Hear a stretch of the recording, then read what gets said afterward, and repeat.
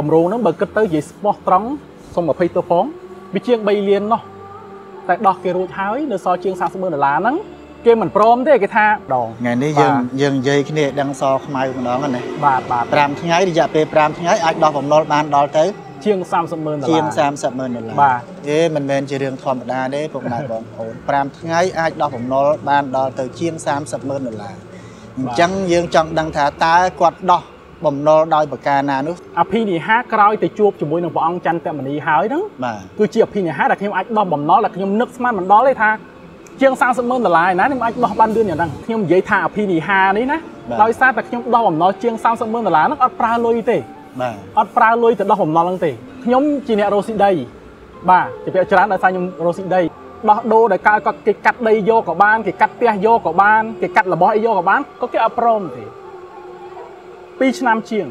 ខ្ញុំដោះអត់រួចទេជាង30ម៉ឺនដុល្លារហ្នឹងដល់ថ្ងៃទី29ខែ10នេះទៀតថ្ងៃព្រះអង្គមុនទៅទៅទៅអង្គរវត្តហ្នឹងណាមុនថ្ងៃហ្នឹងមានញៀនព្រះអង្គចិត្តទៅហៅ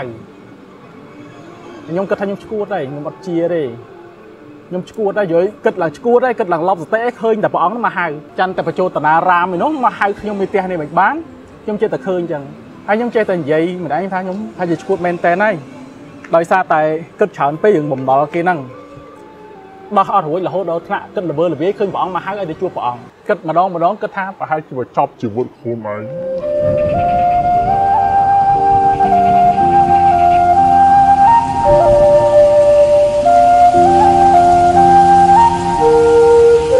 តាសុំម្ដងបងព្រះអង្គហើយ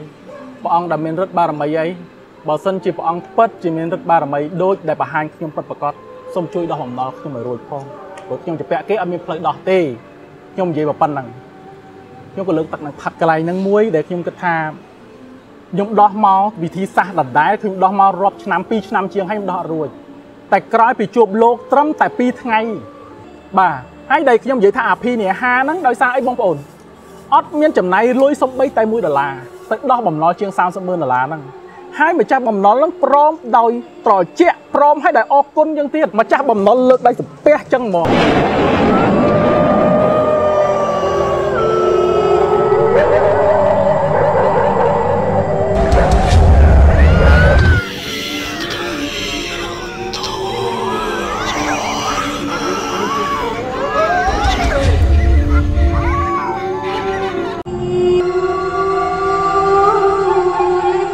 សូមអនុញ្ញាតគោរពនិងជំរាបសួរដល់ពុកម៉ែបងប្អូនលោកយាយលោកតានិងប្រិយមិត្តដែលនិយមគ្រប់គ្រងនៅកម្មវិធីរាត្រីរន្ធត់ក៏ដូចជាការនិយមគ្រប់គ្រងនៅ page របស់ Diamond Media ផងដែរបាទនៅក្នុងសប្តាហ៍នេះកម្មវិធីយើងខ្ញុំបានវិលត្រឡប់ជួបពុកម៉ែបងប្អូនលោកយាយលោកតានិងប្រិយមិត្តសាជាថ្មីម្ដងទៀតតាមពេលវេលានិងម៉ោងដដែលចានេះខ្ញុំនៅនវិនបានវិលមកជួបអារម្មណ៍ពុកម៉ែបងប្អូនសាជាថ្មីវិញហើយក្នុងកម្មវិធីរាត្រីរន្ធត់នៃសប្តាហ៍នេះផងដែរចា បាទណាវិនអង្គុយបាក់មើលមុខគ្នាបន្តិចដោយសារតែរាល់ដងយើងធ្លាប់តែចំហៀងចាទល់មុខគ្នាមើលមុខគ្នាណាចាដល់ឥឡូវយើងអង្គុយជិតគ្នាខ្ញុំចេះតែមានអារម្មណ៍ថាអញ្ចេះចាអង្គុយយើងចង់ស្ពះខ្ទឹមនឹកហ្នឹង កុំអាគិតកន្លែងហ្នឹងព្រោះលោកអាចារ្យនៅខាងមុខស្រាប់តារាកិត្តិយសរបស់យើងនេះគឺជាលោកអាចារ្យយើងអង្គុយនោះដូចចង់សាពះខ្ទឹមហើយនឹងភ្ញៀវកិត្តិយសយើងគាត់វាយឈុតសមកទៀតចាឈុតសមកទៀតហើយជាមើលកាមេរ៉ាចាប់មើលថាពិធីករពិធីការនេះអង្គុយចឹងហើយដល់ភ្ញៀវកិត្តិយសគាត់ដាក់ឈុតសមកទៀតវាដូចជាអាចារ្យនឹងចាំឲ្យពោឲ្យពោឲ្យចៃតាចាហើយកូនកូនកន្លោះហើយពិធីករថ្ងៃនេះគឺថាអាវដូចជាមិនសូវស៊ីគ្នាជាមួយខាងអត់សូវស៊ីគ្នាពិធីការនេះទេដោយសារតែ អ្នកដឹកនាំកម្មវិធីនេះគាត់ចាប់ដាក់ចាខ្ញុំក្នុងសប្តាហ៍នេះខ្ញុំគិតថាខ្ញុំអវត្តមានមួយសប្តាហ៍ទៀតណាដោយសារតែសុខភាពហ្នឹងវាមិនទាន់អំណោយផលល្អប៉ុន្តែខាងអ្នកដឹកនាំហ្នឹងគាត់ថាអបបងឯងហ្នឹងដូចជាមិនសូវល្អមើលខ្ញុំគង់លូមកល្ងាចឯដើរក្រោមដើមពោកម្លឹង4 5ជុំខ្ញុំថាអារឿងស្អីណាណៃមិនហៅឯងថតទេហៅឯងថតតែរឿងខ្មោច និយាយទៅមុខលោកចំណោបងប្អូនទាំងអស់គ្នាស៊ីជាមួយនឹងកម្មវិធីដែលត្រូវឈុតខ្លាំងពីព្រោះអីគាត់សម្ភាសតាំងពីកម្មវិធីរបស់យើងនៅការជាផ្សាយតាមវិទ្យុមកតែពេលអញ្ចឹងឥឡូវចេញតាមទូរទស្សន៍អត់គាត់ដូចកម្មវិធីយើងដូចគេហៅថាផ្ទះអឺតរង្គើរសអត់មានរសអញ្ចឹងមានគាត់គឺល្អហ្មងចាដូចសឡកកោអត់មានគ្រឿងអញ្ចឹងកោអត់មានគ្រឿងអត់ម៉ង់គេហៅថាវិជ័យស្ករអញ្ចឹងចាអញ្ចឹងក្នុងសប្តាហ៍នេះក៏ប្លែកខុសពីសពមួយដងផងដែរដោយសារតែ អ្នកដឹកនាំហ្នឹងគាត់បានរៀបចំតាំងពីអឺចា៎កន្លែងអង្គុយបាទអត់ដូចពីមុនទេតាមពិតទៅក៏ក៏សូមខន្តីអភ័យទោសពីសំណាក់ទស្សនិកជនផងដែរដោយសារតែអឺខាងក្រោយអឺខ្ញុំកណាខ្ញុំបាទនេះគឺមានដើមពោធិ៍ហើយនឹងអឺរូបព្រះពុទ្ធបដិមាហើយដល់តែភ្ញៀវកិត្តិយសយើងគាត់មានដំណងមួយគាត់ អត់អាចអង្គុយបែរខ្នងទៅទៅព្រះពុទ្ធទៅបាព្រះនពុទ្ធទេរូបហ្នឹងណាចាដល់អញ្ចឹងទៅក៏យើងសូមធ្វើការដោះដូរឲ្យពិធីករពិធីការនេះនេះគួយនៅអឺម្ដុំជាមួយគ្នាឲ្យខាងភ្ញៀវកិត្តិយើងយសទល់ហ្នឹងមុខតែម្ដងបាទកន្លែងនេះគឺយើងសម្ភាសទល់មុខផ្ទាល់ដើម្បីចង់ដឹងរឿងច្បាស់ច្បាស់ដោយសារតែរឿងដែលបងកំពុងតែល្បីនេះគឺរឿងដកបំណុល30ម៉ឺនដុល្លាររយៈពេលតែមួយអាទិត្យ អ្វីដែលអស្ចារ្យខ្លាំងមែនទែនគឺតារាកិត្តិយសរបស់យើងគាត់អញ្ជើញទៅជួបជាមួយនឹងលោកព្រះអង្គចាមុនីចាបាទនៅពេលដែលគាត់ទៅជួបលោកហើយលោកមកវិញលោកអាចដោះស្រាយបានដល់30ម៉ឺនដុល្លារក្នុងការជំពាក់បំណុលគេឯណោះអញ្ចឹងសប្តាហ៍នេះអស្ចារ្យខ្លាំងដើម្បីកុំឲ្យពុកម៉ែបងប្អូនចាកំពុងតែទស្សនានេះរងចាំយូរថា នាងខ្ញុំនឹងពីរនាក់អង្ការមិនឲ្យជួបតារាកិត្តិយសចង់ឃើញហ្នឹងណាអ្នកដែលជំពាក់លុយចា30ម៉ឺនដុល្លារទៅជួបលោកតាដើម្បីកុំឲ្យពុកម៉ែបងប្អូនទាំងអស់គ្នារងចាំទស្សនាយូរសូមជួបជាមួយនឹងម្ចាស់ឧបត្ថម្ភកម្មវិធីបន្តិចសិន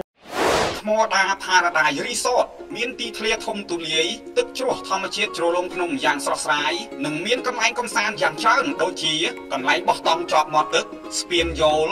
អាងហែលទឹក ផ្ទះបឹងគីឡូដាច់ដាច់ពីគ្នាមានផ្ទះវិឡានិងអាងហែលទឹកជាលក្ខណៈ private កញ្ចុះសម្រាប់អង្គុយលេងនិងអាចកុម្ម៉ង់អាហារបានគ្រប់មុខយ៉ាងឆ្ងាញ់ពិសានិងមានកន្លែងក្មេងលេងយ៉ាងសុខសុវត្ថិភាពទីតាំងនៅលើផ្លូវជាតិលេខ55ស្រុកវាលវែងខេត្តពោធិ៍សាត់នៅជិតព្រំដែនខ្មែរថៃត្រឹមតែ10គីឡូម៉ែត្រលាបមហាសម្បត្តិឡូតូ100រៀលសំណាងពិតស្ថិតក្នុងដៃអ្នកផលិតផលថ្មីសប្បាយឈ្នះកខកកខង សម្រាប់ព័ត៌មានលម្អិតសូមទំនាក់ទំនងតាមរយៈទូរស័ព្ទលេខ023 932ដើម157និង3ខ្សែទៀត 067 077និង087 316 168ទឹករ៉ែធម្មជាតិបាត់ទុំវ័នពោពេញដោយសារធាតុរ៉ែសំខាន់សំខាន់ការពារសុខភាពឆ្អឹងរក្សាលំនឹងសម្ពាធឈាមនិងកម្រិតជាតិស្ករ pH រហូតដល់7.9ធ្វើឲ្យសុខភាពល្អក្មេងជាងវ័យពីធម្មជាតិពេលកំងភ្លៀងដឹកដល់គេហដ្ឋានភ្លៀងផ្សព្វផ្សាយពាណិជ្ជកម្មបង្ហាញផលិតផលសេវាកម្មរបស់លោកអ្នកទៅកាន់លោកទូទាំងប្រទេសតាមកម្មវិធីរៀបរយរួមទុនមួយខែត្រឹមតែ250ដុល្លារបាទយេស៊ូបាទយេស៊ូបាទមានឈ្មោះអីដែរបង អឺបើយើងអង្គុយអង្គុយចិត្តនេះតិចណាបាទបាទអង្គុយចិត្តនេះតិចបាទហ្នឹងទុកបន្លោះកណ្ដាលឲ្យព្រះអង្គនេះចុះឈ្មោះគឺ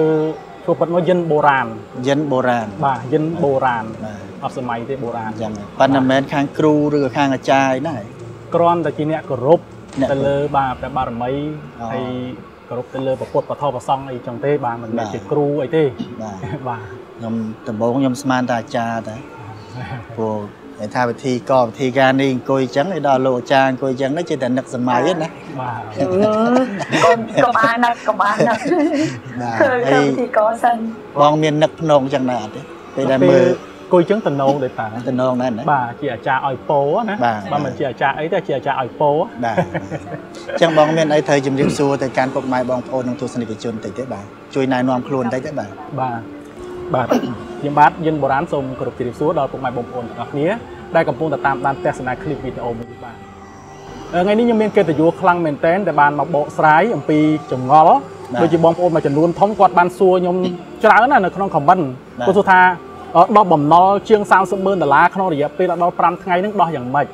អញ្ចឹងខ្ញុំក៏អរគុណទៅដល់កម្មវិធីទាំងមូលដែលបានអញ្ជើញខ្ញុំមកធ្វើជាភ្ញៀវកិត្តិយសខ្ញុំបកស្រាយតែមួយคลิปគឺបានទាំងអស់គ្នាតែម្ដង ថ្ងៃនេះយើងយើងនិយាយគ្នាឲ្យដឹងសខ្មៅម្ដងណា បាទបាទ 5ថ្ងៃរយៈពេល5ថ្ងៃអាចដោះបំណុលបានដល់ទៅ ជាង30ម៉ឺនដុល្លារ ជាង30ម៉ឺនដុល្លារ បាទ អេមិនមែនជារឿងធម្មតាទេពុកម៉ែបងប្អូន5ថ្ងៃអាចដោះបំណុលបានដល់ទៅជាង30ម៉ឺនដុល្លារអញ្ចឹងយើងចង់ដឹងថាតើគាត់ដោះបំណុលដោយប្រការណានោះ សូមឲ្យលោកយិនបុរាណណាបាទបាទអញ្ចឹងបកស្រាយបាទសូមជឿបាទវាចង្អល់នេះគឺវានៅតែជាប់ជាមួយបងប្អូនទាំងអស់គ្នាដែលខ្ញុំប្រាប់ថាវាជាអភិនិហាបាទអភិនិហាក្រោយទៅជួបជាមួយនឹងព្រះអង្គចន្ទមនីហើយហ្នឹងគឺជាអភិនិហាដែលខ្ញុំអាចដោះបំណុលដែលខ្ញុំនឹកស្មានមិនដល់ទេថាជាង30ម៉ឺនដុល្លារឯណាខ្ញុំអាចដោះបានលឿនយ៉ាងហ្នឹងអញ្ចឹងការជាចងល់ហ្នឹងចងល់បងប្អូនទាំងអស់គ្នាចេះឆ្ងល់ខ្ញុំបកស្រាយឃ្លីបមួយទៅឃ្លីបមួយគាត់នៅតែឆ្ងល់ដដែលដដែលវាជារឿងសាមញ្ញធម្មតាទេចាំបានន័យថាធ្លាប់បានបកស្រាយក្នុងឃ្លីបមុនមុនហើយធ្លាប់បាទធ្លាប់ បាទក៏ប៉ុន្តែនៅតែអត់អស់ចង្អល់បងប្អូននឹងឯងបាទបាទអញ្ចឹងខ្ញុំចង់ជំរាបបងប្អូនថាការដែលខ្ញុំនិយាយថាអភិនិហានេះណាបាទដោយសារតែខ្ញុំដោះបំណុលជាង30ម៉ឺនដុល្លារហ្នឹងអត់ប្រើលុយទេបាទអត់ប្រើលុយទៅដោះបំណុលហ្នឹងទេបាទដោយពីមុនមកខ្ញុំជពាក់គេហ្នឹងដោយហេតុនេះបងប្អូនខ្ញុំជាអ្នករស់ស៊ីដីបាទជពាក់ច្រើនដោយសារខ្ញុំរស់ស៊ីដីមកកម្រោងមកកម្រោងវាច្រើនដែរបើកាពិតទៅណាបងប្អូនបាទវាច្រើនវាមិនមែនត្រឹមតែ30ម៉ឺនដុល្លារនោះវាច្រើនជាងហ្នឹង ក៏ប៉ុន្តែដោះគេហើយនៅសល់ជាង30ម៉ឺនដុល្លារនោះដោះអត់រួចបាទដោះអត់រួចទេដោះអត់រួចរហូតដល់គិតថាលក់អីក៏មិនដាច់ធ្វើអីក៏មិនបានហ្នឹងគិតថាចប់ហើយអត់មានវិធីសាស្ត្រណាដោះគេទេយើងលើកសំណើម្ដងជាពីរដងទៅសុំគេ ក្នុងការដោះវិធីណាឲ្យល្អឲ្យបានអញ្ចឹងណាដោះដូរដែលកើតក៏គេកាត់ដីយកក៏បានគេកាត់ផ្ទះយកក៏បានគេកាត់របស់អីយកក៏បានក៏គេអត់ព្រមទេ2ឆ្នាំជាង ខ្ញុំដោះអត់រួចទេជាង30ម៉ឺនដុល្លារហ្នឹងហើយបងប្អូនទាំងអស់គ្នាក៏ដឹងដែរថាក្នុងកន្លងពេលប្រហែលឆ្នាំនេះសេដ្ឋកិច្ចយើងពិបាកខ្លាំងក្នុងការរកចំណូលរួចយើងទៅមានសមត្ថភាពអីណាទៅរកចំណូលរាប់សែនដុល្លារហ្នឹងមកដោះដល់ពេលថ្ងៃមួយយើងថ្ងៃមួយបើនិយាយទៅសុំនិយាយទៅមុខបន្តិចទៅក្រោយខ្លាំងបន្តិចបាទកាលពីមុននោះកាលពីថ្ងៃទី29ខែ9កាលនោះមានដូចមានអារម្មណ៍ថា គេឲ្យខ្ញុំនឹងទៅអង្គរវត្តហើយទៅធ្វើស្អីមិនដឹងទេខ្ញុំទៅដល់អង្គរវត្តគឺមានតែដេកតែម្យ៉ាងគត់អត់ធ្វើអីផ្សេងទៅតែវាដេកទេតែតែដេកហ្នឹងគឺដូចសន្លប់ចឹងបាទដល់ថ្ងៃទី29ខែ10នេះទៀតថ្ងៃព្រះអង្គមុនទៅទៅទៅអង្គរវត្តហ្នឹងណាមុនថ្ងៃហ្នឹងមានញៀនព្រះអង្គហ្នឹងចិត្តទៅហៅខ្ញុំគិតថាខ្ញុំឈួតហើយខ្ញុំអត់ជាទេ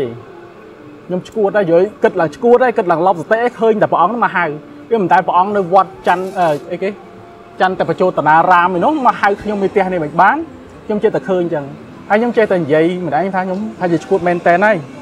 ដោយសារតែគិតច្រើនពេករឿងបំណុលគេហ្នឹងដោះអត់រួចរហូតដល់ថ្នាក់គិតល្វើល្វាយឃើញព្រះអង្គមកហៅឲ្យទៅជួបព្រះអង្គខ្ញុំអត់ជឿទេខ្ញុំក៏គិតថាមិនទៅទេតែដល់ពេលថ្ងៃទី29ហ្នឹងប៉បខ្ញុំគិតថាត្រូវតែទៅតាព្រោះអីកុំឲ្យថាឃើញតែអញ្ចឹងហើយ គិតថាសម័យសម័យក៏អ្នកណាគិតថាមិនក៏គិតដែរទៅឲ្យដឹងហេតុដឹងផលមើលវាមានហេតុជាប់គ្នាអញ្ចឹងណា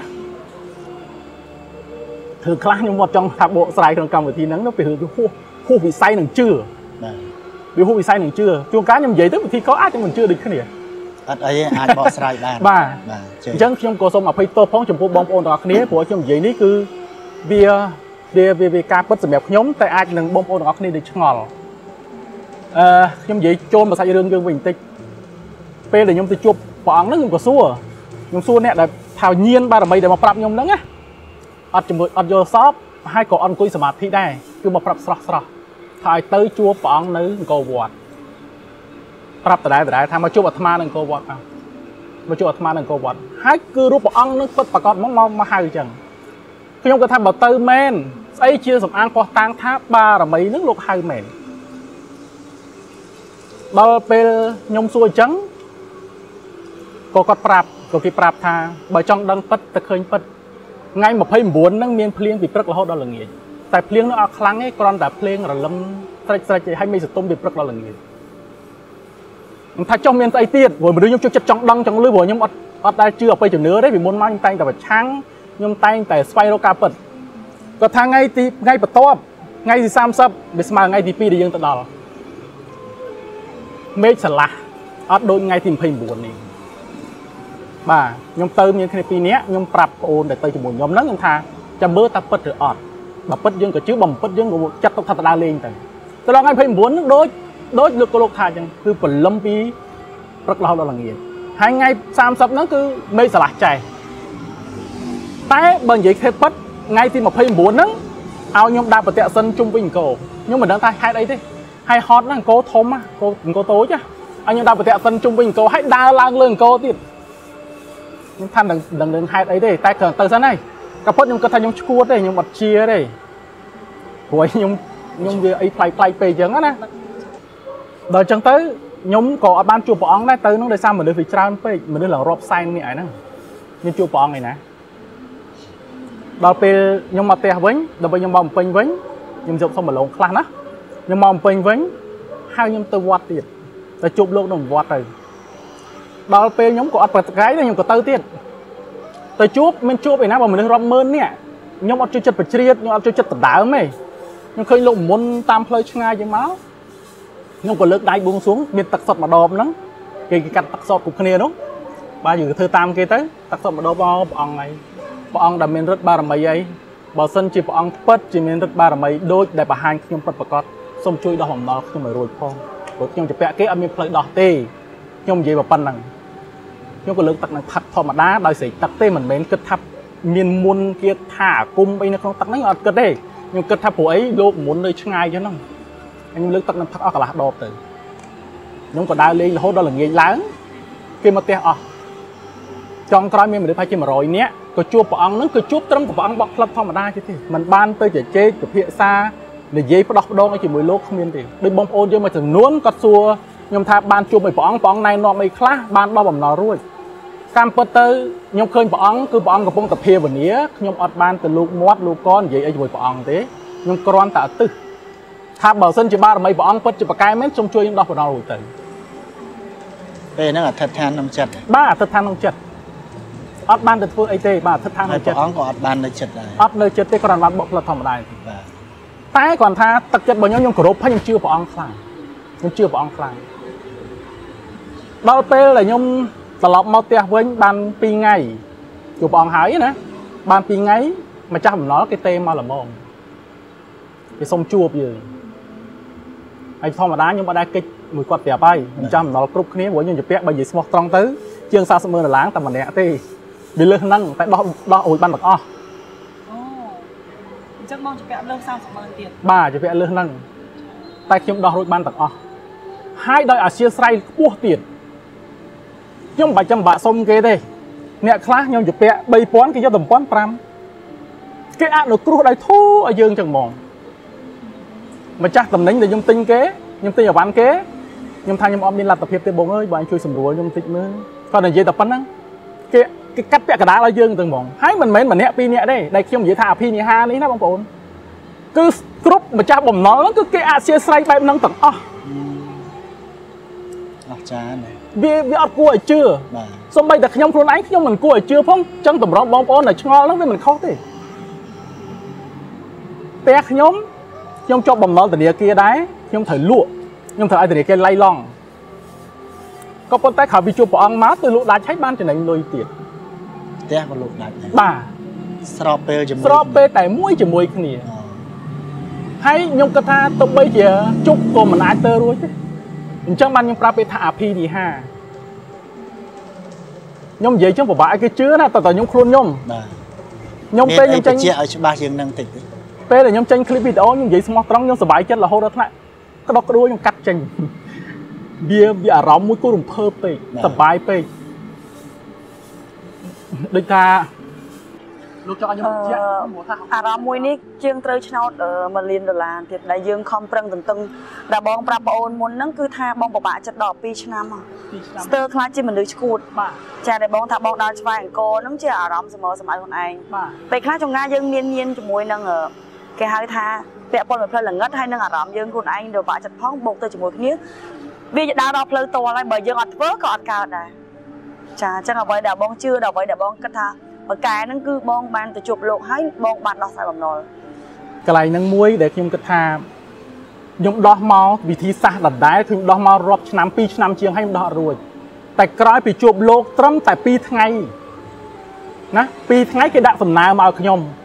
វាចៃដន្យដោយសារតែគេដាក់សំណើខ្ញុំពឹកថ្ងៃហ្នឹងស្អែកឡើងខ្ញុំត្រូវទៅធ្វើគេហៅថាទៅធ្វើបន់សង្កទានជូនប៉ា ប៉ាក៏ចង់ធ្វើបន់សង្កទានអញ្ចឹងខ្ញុំទៅធ្វើបន់ហ្នឹង2ថ្ងៃហើយត្រឡប់មកវិញថ្ងៃទី4ថ្ងៃមកមកវិញហ្នឹងគាត់ណាត់ជួបម្ដងទៀតដើម្បីសម្រេចគ្នាសម្រោះសម្រួលគ្នាគាត់ថាបើស្រួលហើយត្រូវហើយយើងផ្ដិតមេដៃចប់បំណុលហ្នឹងហ្មងបាទហើយដែលខ្ញុំនិយាយថាអាភីនេះហាហ្នឹងដោយសារអីបងប្អូនអត់មានចំណាយលុយសំបីតែ1ដុល្លារទៅដោះបំណុលជាង30ម៉ឺនដុល្លារហ្នឹងហើយម្ចាស់បំណុលហ្នឹងព្រមដោយត្រជាក់ព្រមហើយដែលអរគុណយើងទៀត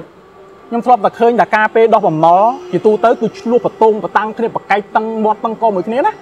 ក៏ប៉ុន្តែនេះអត់ទេម្ចាស់បំណុលលើកដៃសំពះចឹងហ្មងខ្ញុំអត់ខ្ញុំអត់យល់ខ្ញុំទៅជាឆ្ងល់ខ្ញុំថាហេតុវាចម្លែកហួសពេកខ្ញុំស្ដាយកាមេរ៉ាដោះអស់ផ្ទះកុំអីខ្ញុំយករូបរូបភាពនឹងមកឲ្យមើលខ្ញុំមានសាក់សាក់សីព្រោះអីដែរសាក់សីក៏ប៉ុន្តែគាត់ក៏មកមួយខ្ញុំគាត់ស្ដិតនៃដៃជំនួយធ្វើធ្វើសាក់សីដែរណាចាបាទមិនខ្ញុំម្នាក់ឯងទេគេរកសាក់សីដែរ ខ្ញុំក៏សាក់សីខាងគេបាទគេក៏សាក់សីខាងខ្ញុំដែរអញ្ចឹងការដែលខ្ញុំនិយាយឡើងទាំងប្រមាណនេះវាជាការពិតដែលហួសវិស័យនឹងជឿចាហួសនឹងបងប្អូនជឿបាន ថាវាមិនដែលណាដោះដោះបំណុលជាង30ម៉ឺនដុល្លារហើយដោះមិនដល់5ថ្ងៃហើយដោះរួចហើយអត់ចាំបាច់ប្រើលុយ បងប្អូនមួយចំនួននៅសួរចឹងថាមានតែលក់ដីលក់ផ្ទះទេតាមអាចដោះបំណុលរួចថាខ្ញុំអត់មានលក់អីទាំងអស់ពីព្រោះខ្ញុំលក់អត់បានលក់អត់ដាច់មានទ្រព្យសម្បត្តិលក់តែខ្ញុំលក់អត់ដាច់អញ្ចឹងអឺបងដោះបំណុលហ្នឹងដោយបងឲ្យគេកាត់យកបើតែបងកំពុងតែមានហ្មងហ៎កាប់ពិតទៅដូចខ្ញុំជំរាបពីដើមអញ្ចឹងថាខ្ញុំរកស៊ីដីខ្ញុំម៉ៅកម្រងដីគេហ្នឹងកម្រងហ្នឹងបើគិតទៅនិយាយស្មោះត្រង់សុំ20ទៅផងវាជាង3លាននោះតែដោះគេរួចហើយនៅសល់ជាង40ម៉ឺនដុល្លារហ្នឹង គេមិនព្រមទេគេថាអឺបងឯងទិញហើយបងបរានឯងទិញហើយខ្ញុំអត់គិតរឿងកាត់យកដីវិញទេខ្ញុំគិតរឿងលុយទេតែអញ្ចឹងណាបើគិតរឿងថាលុយទេតែមិនឲ្យបានលុយឲ្យគាត់យូរបន្តិចក៏យូរទៅអីក៏អីទៅអញ្ចឹងណាហើយខ្ញុំវាខកខ្លួននឹងចិត្តល្អពេកជាមួយនឹងអតិថិជន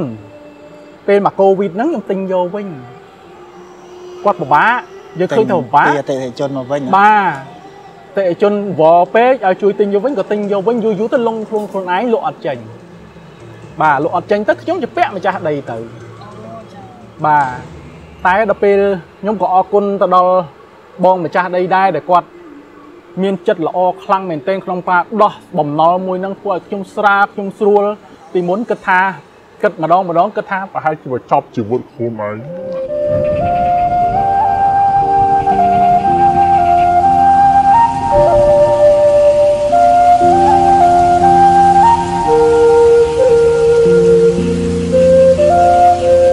បាទអញ្ចឹងគឺ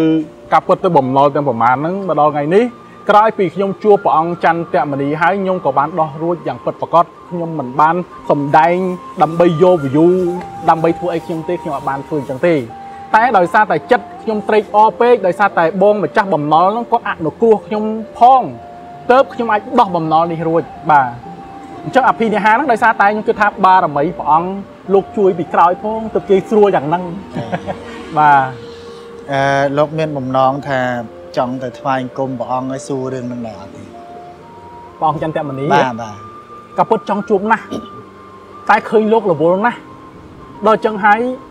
យើងដឹងថាលោករវល់លោកហត់ហើយយើងព្យាយាមរកទៅរកលោកទៀតវាដូចវាដូចវាអត់តំជាមួយការគោរពរបស់យើងណាបាទអញ្ចឹងការគោរពរបស់ខ្ញុំនេះខ្ញុំនិយាយស្មោះត្រង់នៅផ្ទះគឺសំខាន់តាក់ចិត្តខ្ញុំ ខ្ញុំនិយាយខ្ញុំក៏បានបួងសួងដែរបើកាពិតទៅពីមុនហ្នឹងមកខ្ញុំបានបួងសួងដែរខ្ញុំថាបើសិនជាខ្ញុំអាចដោះបំណុលនេះរួចខ្ញុំចង់ធ្វើការដើម្បីជាតិដើម្បីគេហៅថាប្រជាជនយើងបើអាចថាខ្ញុំមានកន្លែងណាដែលខ្ញុំអាចធ្វើបានណាណាខ្ញុំធ្វើអញ្ចឹងហើយបានមួយរយៈនេះខ្ញុំតែងតែចេញឃ្លីបការពារដល់ព្រះអង្គចន្ទមនីដោយសារអីដោយសារខ្ញុំឃើញថាព្រះអង្គចន្ទមនីលោកលោកមានប្រតិក្នុងការបង្រួបបង្រួមខ្មែរ ឲ្យចេះស្រឡាញ់គ្នាឲ្យចេះការពារថែរក្សាទៅលើអរិយធម៌វប្បធម៌របស់យើងបាទខ្ញុំឃើញកន្លែងហ្នឹងគឺខ្ញុំមានសក្តីមួយថាថាចិត្តខ្ញុំគឺជ្រះថ្លាសប្បាយរីករាយកន្លែងហ្នឹងខ្លាំងមែនតើអញ្ចឹងចំណុចផ្សេងផ្សេងៗដែលគេចាប់កំហុសធម្មតាបើសម្រាប់យើងនិយាយជាទូទៅអ្នកណាក៏មានកំហុសដែរបាទគ្រាន់តែថាអឺពីមុនជារឿងពីមុនអាបច្ចុប្បន្ននេះគេធ្វើល្អគួរតែលើកតម្កើងគ្នាទៅបាទការពារគ្នាទៅមែនទេបាទ យើងបាទមើលពីចំណុចល្អរបស់ព្រះអង្គគឺមានច្រើនបាទក្រៅពីចំណុចខ្វះខាតហ្នឹងណាបាទបាទប៉ុន្តែខ្ញុំសង្កេតឃើញបច្ចុប្បន្ននេះអ្នកដែលរិះគន់ភាគច្រើនហ្នឹងគឺកម្រលើកពីអាចំណុចល្អហ្នឹងបាទយកតែពីអាចំណុចខ្វះខាតហ្នឹងហើយជ្រុំតងនេះដែរដែរដែរដែរបាទបាទបាទអញ្ចឹងបានខ្ញុំចង់កន្លែងក្នុងកម្មវិធីហ្នឹងខ្ញុំចង់សុំវល់ចិត្តចំពោះបងប្អូនយើងដែរថាខ្មែរយើងបើយើងព្យាយាមរួបរวมគ្នា ខ្មែរយើងរីកចម្រើនបាទអញ្ចឹងព្រះអង្គកំពុងតែព្យាយាមបង្រួបបង្រួមខ្មែរយើងឲ្យខ្មែរយើងរីកចម្រើនខ្លាំងក្លាទៅមុខបើសិនតែយើងមើលអំពីចំណុចល្អរបស់លោកលោកមានចំណុចល្អច្រើនណាស់ដែលយើងគួរគោរពអញ្ចឹងយើងកុំព្យាយាមរកចំណុចមិនល្អមកបបកស្រាយបាទអ្នកដែលគិតអវិជ្ជមានពីលោកជាពិសេសបងប្អូនដែលគាត់នៅក្រៅប្រទេស ហើយមិនមែនភាកច្រើនទេមានតែ2នាក់ឲ្យគាត់នាងខ្ញុំគិតថាអឺចង់ live វីដេអូបកស្រាយចំពោះបុគ្គលនឹងដែរតែអត់ទាន់ទុកឱកាសឲ្យគាត់ក្នុងការនិយាយសិនទុកឱកាសឲ្យគាត់ធ្វើសិនហើយក៏ទុកពេលឲ្យគាត់សម្រាប់កែខ្លួនដែរបងស្រីអឺបងស្រីដែលគាត់កំពុងតែ live ជន់ចាលោកយករូបថតលោកកាលពីតនលោកមិនតន់បួសជាសង្ឃចានឹងមានរូបអ៊ំម្នាក់ដែលគាត់យកមកជន់ចានាងខ្ញុំមើលហើយមានអារម្មណ៍ថាអនុធម៌ពួកគាត់ មិនមិនមិនមិនមិនបានចង់វីដេអូថ្វាយប្រហាទេប៉ុន្តែខ្ញុំចង់ live ជាមួយនឹងការបកស្រាយឲ្យបងឬក៏បងស្រីដែលគាត់កំពុង live ជេរលោកចាចាគាត់គឺជាមនុស្សននងមនុស្សននងមនុស្សគាត់បានខ្ចីគេយកទៅ slow បានតែមនុស្សគាត់តិចទៀតលេង slow បានទៅជាដាច់ដល់ឆ្នាំព្រោះគាត់ជាអនងចាអញ្ចឹងបើសិនជាវីដេអូដែលពួកខ្ញុំកំពុងតែ live នេះបានឆ្លួតជ្រាបទៅដល់បងប្អូនដែលគាត់កំពុងតែ live វាយប្រហារលោកចា ព្រះអង្គមុនីដែលនាងខ្ញុំផ្ទាល់ទៅសភាលោកមុនដំបូងគេនៅចាស់គុតរបស់លោកចាអញ្ចឹងបើសិនជាបងប្អូនដែលគាត់លឺហើយចាឈប់តែស្គរឈប់យករូបលោកកាពីនៅជាប្រសក់មកជន់ឈ្លីទៅពេលខ្លះខ្ញុំមើលហើយខ្ញុំធំខ្មែរយើងដែរហេតុអីក៏អត់មានអីក្រៅពីលើកតម្កើងគ្នាឯងមានតែភាពជិះជាន់អញ្ចឹងបើសិនជាយើងរួបរวมសាមគ្គីគ្នាលុបវីដេអូនឹងចោលលុបរុកថតអាក្រក់ដែលមានពីមុនមកចោលបងប្អូនទាំងអស់គ្នាបើកចិត្តឲ្យទូលាយ ខ្ញុំជឿជាក់ថាបងប្អូននឹងទទួលបានចិត្តជ្រះថ្លាមួយទៀតខ្ញុំចង់សនំពរដល់បងប្អូនដែលអាក្រក់បែបហ្នឹងណាពុកម៉ែបងប្អូនដែលធ្វើទង្វើអាក្រក់បែបហ្នឹងយករុកលោកដែលការលោកមិនទាន់បួសជាលោកនឹងយកមកជន់វាយប្រហាបងប្អូនឈប់ចូលវត្តបណ្ដោយទៅហើយមិនបាច់ប្រើសញ្ជាតិជាកូនខ្មែរទៀតទេចាបើជន់ម្លឹងម្លឹងហើយអានេះខ្ញុំនិយាយចេញពីចិត្តដែលខ្ញុំឈឺចាប់ព្រោះខ្ញុំអត់តន់ចេញវីដេអូតបតជាមួយពួកគាត់ទេហើយក្រុមការងាររបស់ខ្ញុំតែងតែប្រាប់ថាចាំបន្តិចសិនឯងកៃឡូគាត់នឹកឃើញ គាត់នឹកឃើញបុណ្យនឹកឃើញបាបនឹកឃើញអ្វីដែលហៅល្អអាក្រក់ទៅគាត់កែខ្លួនចាអញ្ចឹងអរគុណនាងខ្ញុំនិយាយការជឿចាប់របស់ខ្ញុំអានេះនិយាយតិចបានតែ10%ការជឿចាប់របស់ខ្ញុំដែលខ្ញុំនិយាយនេះចាអរគុណអញ្ចឹងអឺសូមអញ្ជើញបងមានប្រសាសន៍តពាក់ព័ន្ធជាមួយនឹងគេហៅថាបងស្បជប់រឿងពីមុនពីមុនអញ្ចឹងណាបងចាចង់ចូលដោយសារតែយើងមើលឃើញពីភាពខ្លាំងរបស់ព្រះអង្គណាបាទ សម្រាប់អ្នកផ្សេងផ្សេងទៀតក៏អត់ចាប់អារម្មណ៍ទៅលើចំណុចហ្នឹងមិនដឹងទេប៉ុន្តែខ្ញុំចាប់អារម្មណ៍តាំងពីដំបូងអើយហើយคลิปហ្នឹងក៏ខ្ញុំធ្លាប់คลิปមុនមុនក៏ខ្ញុំធ្លាប់បាននិយាយដែរខ្ញុំធ្លាប់បាននិយាយថាលោកមានភាពអស្ចារ្យត្រង់ថាថេរដីការបស់ព្រះអង្គមិនមែនត្រឹមតែរាជធម្មតាទេបាទដែលលោកមានថេរដីកាឲ្យគេស្ដាប់បានណាបាទគេស្ដាប់បានគេជ្រះថ្លានឹងសំបីតែថ្នាក់ដឹកនាំកម្ពុជាកម្ពុជា ក៏ជ្រះថ្លាក៏លោកមានសេចក្តីអំណរសាទររីករាយជ្រះថ្លាជាមួយនឹងព្រះអង្គដែរបាទបាទអញ្ចឹងយើងគិតមើលថាអ្នកដែលចេះដឹងបច្ចុប្បន្ននេះអត់ខ្វះទេអ្នកចេះដឹងច្រើនណាបាទខាងវិន័យក៏មាន ខាងប្រសូតក៏មាន ខាងអភិធម្មក៏មាន អ្នកត្រត្រង់នៅផ្នែកអីផ្សេងផ្សេងក៏មានច្រើនតែសួរថាពេលដែលអ្នកចេះដឹងទាំងអស់ទាំងអស់នោះនិយាយទៅឲ្យគេស្ដាប់ដែរអត់បាទ មានទេមានឱកាសដោយគុណចាស់ចឹងដែរអត់ទេបាទមនុស្សទាំងម៉ឺនអ្នកទាំងលានអ្នកស្ដាប់បានទាំងវិរិះរហូតដល់ថ្នាក់ដឹកនាំកម្ពុជាកម្ពុជាមានបែបហ្នឹងដែរអត់វាកម្រណាស់បាទនេះដែលខ្ញុំមើលឃើញថាជាភាពអស្ចារ្យរបស់គុណម្ចាស់ក្រៅតែអំពីព្រះអង្គទ្រទ្រង់នៅគុណធម៌បាទបាទអញ្ចឹងយើងរួមគ្នាថែរក្សាទៅចំណុចខ្វះខាតវាតែងតែមានហើយសម្បីតែខ្ញុំក៏ខ្ញុំមើលឃើញថា ព្រះអង្គមានចំណុចខ្វះខាតតិចតួចប៉ុន្តែវាមិនមែនជាវិបត្តិរបស់យើងទេអានោះជាអាបត្តិរបស់ព្រះអង្គទេហើយអាបត្តិរបស់លោកលោកចេះដោះស្រាយខ្លួនលោកហើយលោកមានវិន័យដោះស្រាយយ៉ាងណាយ៉ាងណាហ្នឹងរឿងរបស់លោកហ្នឹងចំណុចទី1ចំណុចទី2ចំណុចទី2ខ្ញុំមើលឃើញលោកពូម្នាក់ហ្នឹងគាត់ប្រើភាសាហៅអាបាទបាទហៅលោក អាអញ្ចឹងណាបើភាសាកុហកតាំងពីបួសប្រមាណភាសានៅក្នុងព្រៃអីប្រមាណភាសាអញ្ចឹងទៅចំណុចហ្នឹងដូចជានៅក្រៅប្រទេសទៀតបងហ្នឹងហើយចំណុចហ្នឹងខ្ញុំចង់ផ្ញើទៅគាត់វិញខ្ញុំចង់និយាយចេះខ្ញុំថាគាត់មិនអាចចេះគ្រប់ជ្រុងបានទេត្រូវបងបាទបើគាត់ចេះខាងបរទេសអាហ្នឹងការរស់នៅរស់ស៊ីមុខរបរមិនមិនអាហ្នឹងគាត់ចេះខាងនោះណាឬក៏ខាងនយោបាយអាហ្នឹងគាត់អាចនិយាយបានតែបើរឿងក្នុងពុទ្ធសាសនាខ្ញុំជឿថាគាត់អត់ទាន់ប្រកាស ល្អឡើយដូចពាក្យមួយគេនិយាយថាយើងចេះតែអ្វីដែលយើងដឹងយើងចេះតែអ្វីដែលយើងមិនចេះគឺមានច្រើនទៀតដែលយើងមិនចេះអញ្ចឹងមិនមែនថាយើងម្នាក់នឹងគិតវែកញ៉ៃគ្រប់រឿងខ្ញុំឃើញគាត់វែកញ៉ៃគ្រប់រឿងស្អីក៏គាត់ត្រូវស្អីក៏គាត់ល្អដែរខ្ញុំខ្ញុំមើលឃើញចំណុចខ្វះខាតរបស់គាត់ត្រង់ថាគាត់ប្រើអាគាត់ហៅគុណចាស់នឹងអាអញ្ចឹងណាខ្ញុំចង់និយាយអញ្ចេះបើទោះជាលោកកុហកលោកបោកបាទខ្ញុំឧទាហរណ៍ណាថា គាត់ប្រើថាអាបោកអាអីចឹងណាបាទតែខ្ញុំចង់និយាយថាបើសិនជាបោកមែនបើសិនជាបោកមែនបើសិនជាកុហកមែនវាអត់មានទោសឯណាដែលដល់ថ្នាក់យើងស្លៀកពាក់ខោអាវកលើអញ្ចឹងឲ្យទៅប្រើភាសាអាជាមួយលោកទេបាទព្រោះលោកបានបួសដោយបញ្ញត្តិកម្មបាទបាទបើសិនជាលោកកុហកអាហ្នឹងវាដាច់ក្នុងអាបត្តិមួយអាចសម្ដែងចេញបានទេបាទបាទអញ្ចឹងយើងក្នុងនាមយើងជាការៀវាយើងទៅហៅ បព្វជិតដែលជាអ្នកបួសប្រកបដោយបញ្ញត្តិកម្មហើយហៅអាហៅមឹងអញ្ចឹងវាអត់ត្រឹមត្រូវទេបាទបាទអញ្ចឹងចំណុចនេះមួយខ្ញុំសូមឲ្យលោកពូម្នាក់ហ្នឹងគាត់កែតម្រូវចេញហើយសូមឲ្យបងប្អូនហ្នឹងជួយ share វីដេអូនេះទៅឲ្យគាត់បានឃើញផងហើយក៏សូមផ្ដាំផ្ញើដល់ប្រជាពលរដ្ឋខ្មែរពុទ្ធបរិស័ទខ្មែរដែលជាអ្នកកាន់ពុទ្ធសាសនាហ្នឹងសូមកុំឲ្យប្រើភាសាមិនសមរម្យទៅលើអ្នកបួស បើទោះជាមានចំណុចខ្វះខាតតិចតួចក៏វាមិនមែនដល់ថ្នាក់បរាជិកឬក៏វាអន្តរាយដល់គុណធម៌ឲ្យដែរបាទវាគ្រាន់តែជាអាបត្តិតិចតួចដូចទីហោថាលោកផឹកស្រាក៏វាមិនមែនដល់ថ្នាក់បរាជិកឯណាហើយជាងកាលទីហោថាលោកសម្បីថាប៉ះស្រីចុះបាទក៏វាអត់ដល់ថ្នាក់បរាជិកដែរហើយក៏មិនដល់ថ្នាក់យើងត្រូវប្រើហៅអាហៅមឹងអី ជាមួយព្រះសង្ឃដែរវាជាបាបវាជាបុណ្យរបស់លោកបាទយើងទៅកាត់ក្តីដល់ថាហៅលោកអាមកបាទបាទបាទអញ្ចឹងខ្ញុំអឺសូមចូលរួមប៉ុណ្ណឹងហើយអឺលោកមានអីបន្តទៀតបាទសម្រាប់ខ្ញុំវិញខ្ញុំមានតែវកទេខ្ញុំវកដល់បងប្អូនយើងទាំងអស់គ្នាជាជនជាតិខ្មែរមិនថានៅក្នុងប្រទេសមិនថានៅក្រៅប្រទេសទេ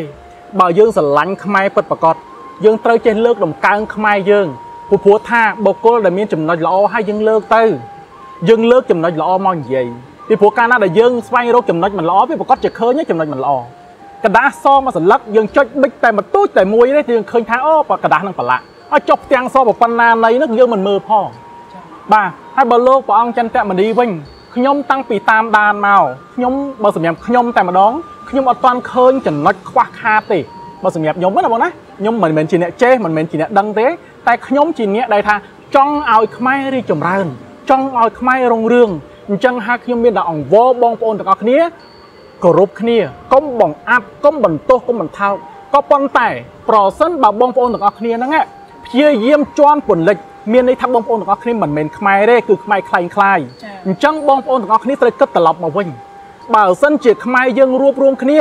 ខ្មែរយើងខ្លាំងការពិតពូជខ្មែរយើងនេះល្អណាស់បងប្អូនក៏ប៉ុន្តែតាំងពី សង្គ្រាមមកដល់ឥឡូវនេះរយៈពេលប៉ុណ្ណឹងណាយើងអភិវឌ្ឍឡើងប៉ុណ្ណេះហើយឃើញថាល្អហើយយើងក៏ព្យាយាមរកអ្វីដែលល្អល្អមកបំពេញបន្ថែមមកចា៎កុំព្យាយាមយកចំណុចល្អមិនល្អមកផ្សព្វផ្សាយមែនទេបាទបាទពីព្រោះកាលណាដែលយើងផ្សព្វផ្សាយអីវាផ្សាយហ្នឹងហើយមួយទៀតកុំយកប្រទេសជិតខាងមកប្រៀបជាមួយនឹងប្រទេសយើងត្រូវបាទចា៎ត្រូវយើងគឺយើងគេគឺគេនេះចំណុចសំខាន់បំផុតសិលធម៌ផងខ្មែរយើងមាន ណាបាទអញ្ចឹងអឺតកតងជាមួយនឹងវប្បធម៌អរិយធម៌ខ្មែរយើងនេះណាគឺបងប្អូនទាំងអស់គ្នាបើសិក្សាឲ្យស៊ីជម្រៅវិញណាប្រទេសជិតខាងអត់អាចប្រៀបបានទេហើយកុំគិតថាបើខ្លាំងយ៉ាងហ្នឹងហេតុអីមានសង្គ្រាមវាជារឿងដែលរួចរួចរួចទៅហើយពេលនេះ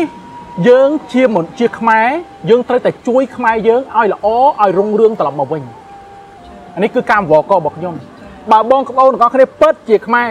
យើងបកមកជួយគ្នាវិញរឿងម្សិលមិញយើងនិយាយខុសខុសហើយយើងចាប់ផ្ដើមមកនិយាយថ្មីនិយាយពាក្យល្អល្អពាក្យដើម្បីខ្មែរយើងទាំងអស់គ្នារីកចម្រើន ដើម្បីខ្មែរយើងរុងរឿងខ្ញុំមកក្នុងកម្មវិធីថ្ងៃនេះបំណងធំបំផុតខ្ញុំនិយាយពាក្យហ្នឹងអញ្ចឹងសូមឲ្យបងប្អូនទាំងអស់គ្នាគោរពខ្លួនឯងគោរពជាតិយើងគោរពប្រទេសយើងគោរពវប្បធម៌យើងគោរពអរិយធម៌របស់យើង ខ្មែរនឹងរុងរឿងយ៉ាងពិតប្រាកដបាទនេះជាចំណុចដែលខ្ញុំចង់និយាយខ្លាំងបំផុត ចាអរគុណច្រើនបងអឺលោកមានប្រសាសន៍ដល់ចំណុចហ្នឹងខ្ញុំនឹកនឹកឃើញចេះពាក្យហ្នឹងខ្ញុំចង់និយាយយូរដែរហើយបាទយើងបច្ចុប្បន្នហ្នឹងយើងតែងតែលើកឡើងទៅចាស់ចាស់ពីដើមមកថាងអត់ចេះសាមគ្គីគ្នាសោះបានជាយើងចេះចេះចេះចឹងណាបាទបាទបាត់បង់ប្រពៃណីវប្បធម៌បាត់បង់របស់នេះរបស់នោះមួយចំនួនអីចឹងទៅបាទដោយសារតែ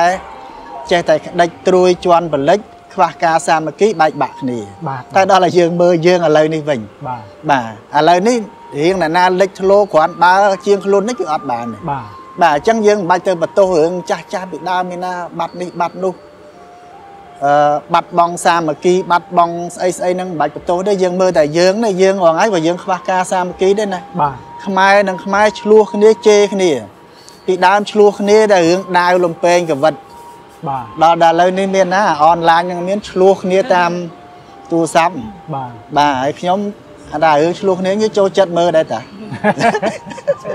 អូខេបាទអញ្ចឹងបានថាពេលខ្លះយើងគួរតែពិចារណា ចំណុចអស់នឹងឡើងវិញអ្វីដែលយើងលើកដំកើងបានយើងលើកទៅបាទកុំលើកកុំព្យាយាមលើកតែខ្លួនឯងត្រូវបងត្រូវតែកាលណាយើងលើកព្យាយាមលើកតែខ្លួនឯងអ្នកដតីគឺអន់យើងយើងទាំងអស់បាទតែបើយើងព្យាយាមលើកអ្នកដតី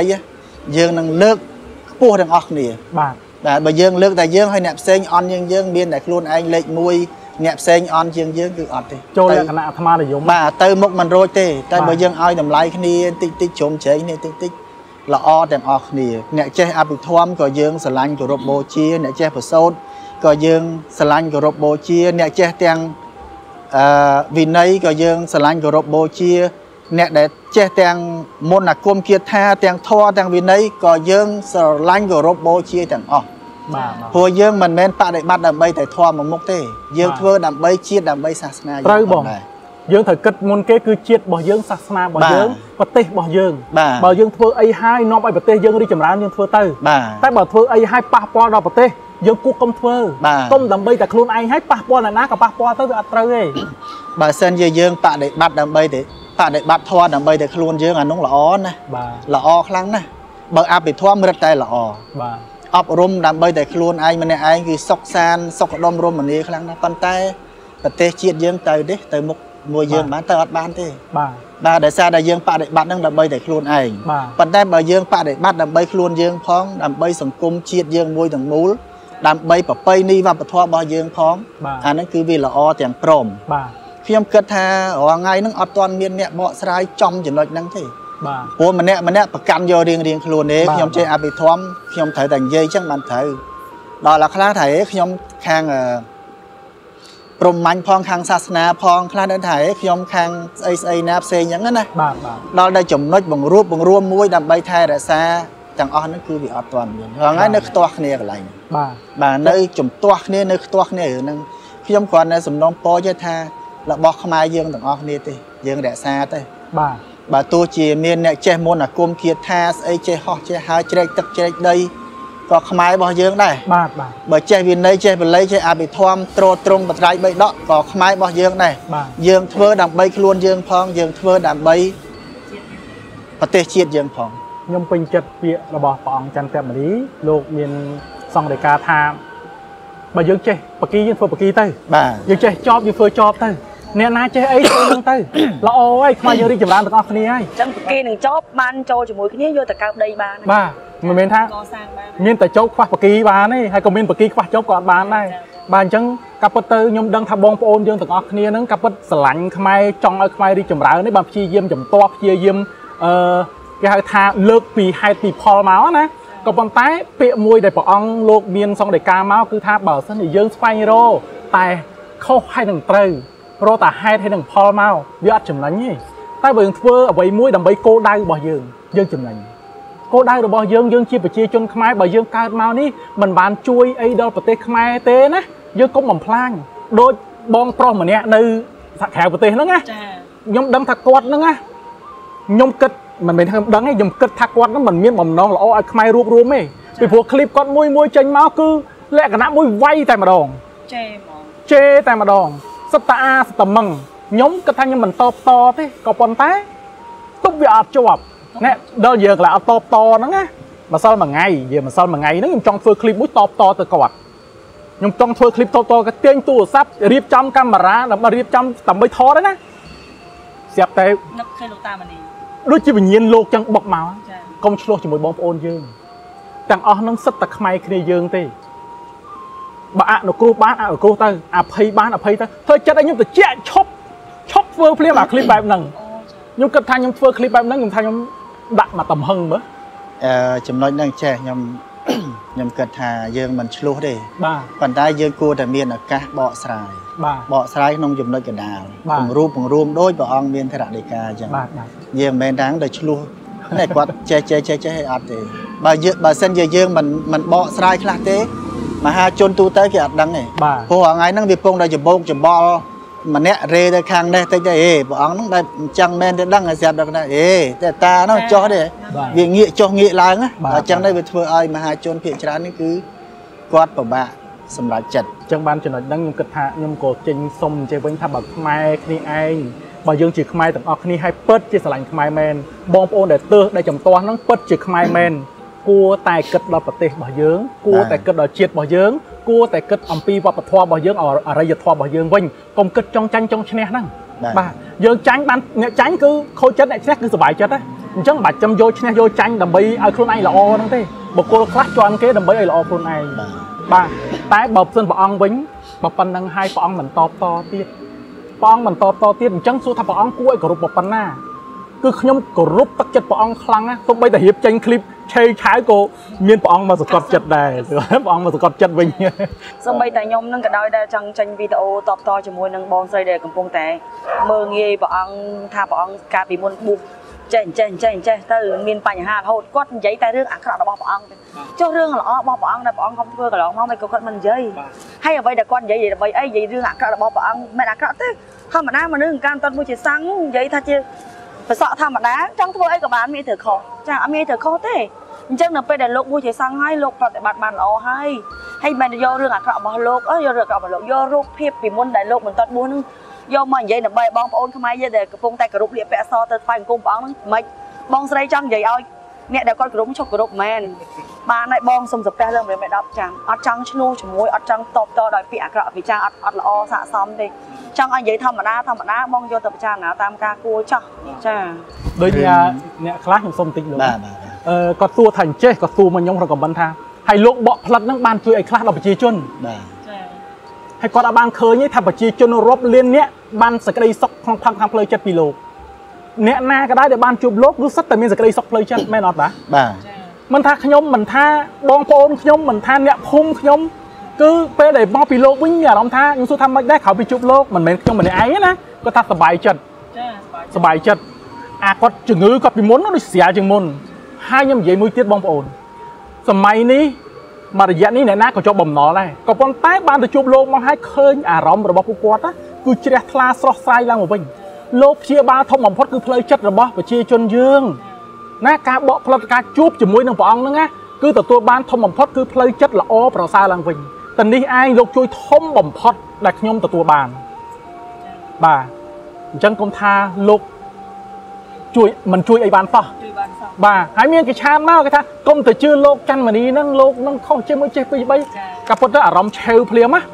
ខឹងដែរក៏ប៉ុន្តែបន្ទាប់ពីអត់ខឹងណា ទៅតបមួយគេបានស្រួលទៅតបមួយគេយ៉ាងស្រួលវិញហ្នឹងគឺព្រះអង្គមកសង្កត់ក្នុងចិត្តទៀតប្រកបព្រះអង្គមកសង្កត់ផ្លូវចិត្តបានទៀតខ្ញុំថាអូពិតជាអស្ចារ្យមែនបារមីព្រះអង្គគឺខ្លាំងមែនទេរឿងសុខភាពផ្លូវចិត្តហ្នឹងវាសំខាន់ណាបាទតែចិត្តសប្បាយរីករាយអាចជំងឺរំកាត់មុំមុំអាចជាតាមហ្នឹងដែរណាត្រូវបងបាទ ហើយបើយើងអត់សុបាយចិត្តណារឿងធំជន់ធំជន់ធំហ្នឹងឯងអញ្ចឹងយើងកុំឲ្យឆ្ងាយពីកម្មវិធីព្រោះនេះយើងសន្ទនាគ្នាមកប្រើហ្នឹងណាពាក់ព័ន្ធនឹងព្រះអង្គប៉ុន្តែប៉ុន្តែខ្ញុំគិតថាក៏ល្អសម្រាប់ទស្សនិកជនដែរបើសិនជាលោកអ្នកយល់យ៉ាងណាអាហ្នឹងក៏ខមមិនបន្ថែមបន្ថយតាមការគួរចោះអញ្ចឹងក្រៅតែពីសាច់រឿងដែលលោករៀបរាប់ខាងដើមហ្នឹងមានអ្វីដែលត្រូវបន្តទៀតដែរទេពាក់ព័ន្ធទៅនឹងជំនឿពាក់ព័ន្ធទៅនឹងអឺ កាប់ពិតទៅនិយាយស្មោះត្រង់ទៅតើតមួយជំនឿពីមុនមកខ្ញុំគោរពតែខ្ញុំមិនបានជាជឿឲ្យងប់ងល់ទេបាទបើនិយាយស្មោះត្រង់ទៅគេថាខ្ញុំនឹងគ្រូស្លៀកពាក់អញ្ចឹងគេថាញុះចាញ់កតុយហ៎ចាប់ផ្ដើមស្លៀកសពាក់សហ៎បាទខ្ញុំចង់ជម្រាបបងប្អូនទាំងអស់គ្នាថាអញ្ចេះខ្ញុំគោរពជាង20ឆ្នាំហើយបងប្អូនអត់ឃើញដោយសារខ្ញុំមិនថតបាទហើយពេលនេះខ្ញុំថតហ្នឹងដោយសារអីខ្ញុំអត់ទៅណាឆ្ងាយពីមុខអាសនៈ អញ្ចឹងហើយខ្ញុំអត់ទៅដូរខោអាវទេមួយរយៈនេះគឺខ្ញុំបានថ្វាយខ្លួនដោយសារអីខ្ញុំដោះបំណុលរួចមិនមែនជារឿងទូចទេបងប្អូនខ្ញុំដោះម្នាក់30ម៉ឺនដុល្លារជាងនេះខ្ញុំប្រាប់ថាតែម្នាក់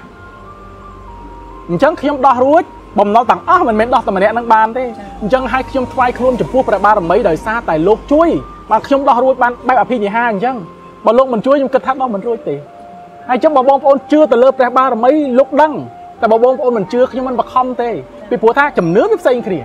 អ្នកជឿណាណាជឿបែបណាគឺជឿបែបហ្នឹងទៅបាទអ្នកណាជឿបែបណាក៏ជឿបែបហ្នឹងទៅអ្នកខ្លះក៏ជឿលើប្រម៉ែធរណីទៅអ្នកខ្លះក៏ជឿទៅលើអឺស្អីផ្សេងអញ្ចឹងទៅវាជារឿងរបស់បុគ្គលតែសម្រាប់ខ្ញុំឲ្យតែកន្លែងណាដែលស័ក្តិសិទ្ធិកន្លែងណាដែលមានរិទ្ធមានបារមីមានស័ក្តិសិទ្ធិគឺខ្ញុំគោរពទាំងអស់ឲ្យតែក្នុងទឹកដីខ្មែរយើងខ្ញុំគោរពទាំងអស់បាទអញ្ចឹងខ្ញុំមានតែប៉ុណ្្នឹងបើសិនជាមានចង្អុលអីអាចសួរសួរកន្លែងណាខ្ញុំឆ្លើយបានខ្ញុំឆ្លើយបាទដូចជាអត់អត់មានអីឆ្ងល់ទេព្រោះយើងបាន បកស្រាយទាំងអស់គ្នាណាបាទបាទអញ្ចឹងក្រៅតែពីសាច់រឿងមិញហ្នឹងមានអីត្រូវបន្ថែមទៀតទេតកតងទៅនឹងជួបអមនុស្សជួបអីមានដែរជួបដែរអត់បើសម្រាប់ខ្ញុំតាំងពីតូចមកទៅហើយបាទតាំងពីតូចមកដល់ហើយរហូតដល់ខ្ញុំឆ្ងល់ខ្ញុំអត់តាឃើញរឿងប្លែកប្លែកឬរឿងប្លែកប្លែកបាទក៏ប៉ុន្តែដល់ពេលខ្ញុំឆ្ងល់ហើយខ្ញុំតែងតែស្វែងរកខ្ញុំមានឪធម៌ម្នាក់នៅខាងកពតគាត់គ្រូ ខ្ញុំចង់ដឹងខ្ញុំខ្ញុំទៅជួបគាត់ខ្ញុំទៅជួបគាត់ហ្នឹងណាចូលក្នុងរូងភ្នំចូលក្នុងរូងអីហ្នឹងខ្ញុំធ្លាប់ទៅតាមដើម្បីឲ្យដឹងឲ្យយល់ខ្ញុំអត់គ្រាន់ថាគ្រាន់តែលឺហើយជឿគេប្រាប់ឲ្យជឿអត់ទេខ្ញុំចូលឲ្យដល់វាមិនអាហ្នឹងរហូតដល់គេនិយាយថាបើចង់ចង់ឃើញអញ្ចឹងចង់ដឹងច្បាស់អញ្ចឹងទៅសមាធិទៅខ្ញុំទៅសមាធិហ្នឹងនៅវត្តហាន់ជ័យជាមួយលោកគ្រូម៉ាក់ជូគឺបានដល់ថ្ងៃនេះវាជិត20ឆ្នាំហើយ តែខ្ញុំទៅបានតែមួយអាទិត្យទេតែខ្ញុំក៏ទៅបំពេញបន្ថែមកន្លែងផ្សេងផ្សេងទៅមួយអាទិត្យទៅតនេះតនេះទៅមួយអាទិត្យទៅទៅអញ្ចឹងហើយដល់ពេលខ្ញុំក៏មិនដឹងថានឹងជាស្អីពិតប្រាកដដែរតែគ្រាន់ថាសួរថាឃើញអត់ហ្នឹងណាបាទអឺយកតបខ្ញុំមិនតែយកជាការទេពីព្រោះខ្ញុំខំចោលពីថាខ្ញុំគ្រាន់តែយកការយកតបទេអស់ពីការយកតបឃើញផ្ទាល់ផ្ទាល់ឬផ្ទាល់ផ្ទាល់និយាយផ្ទាល់ផ្ទាល់